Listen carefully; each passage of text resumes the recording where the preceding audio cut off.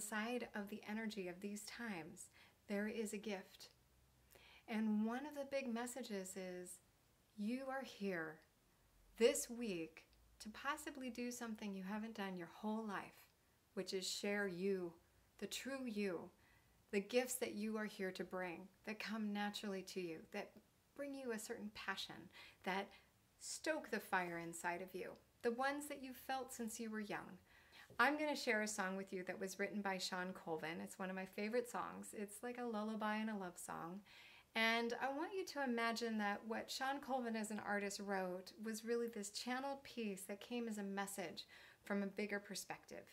I want you to imagine that as I sing this song to you, that you are being sung by the universe itself, possibly the very nature that created this virus, thinking of your higher self, your expanded self. Those are the aspects that are singing to you through this song. I've been singing since I was a little girl.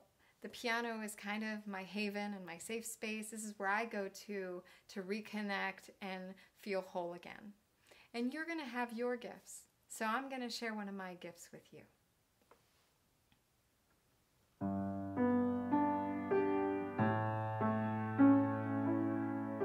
And I don't know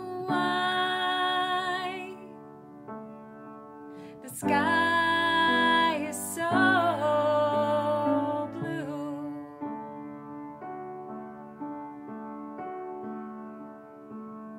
And I don't know why I'm so.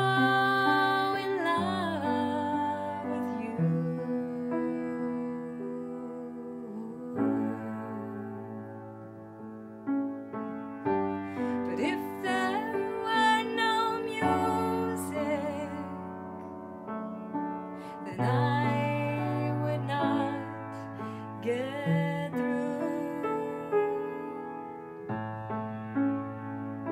I don't know why.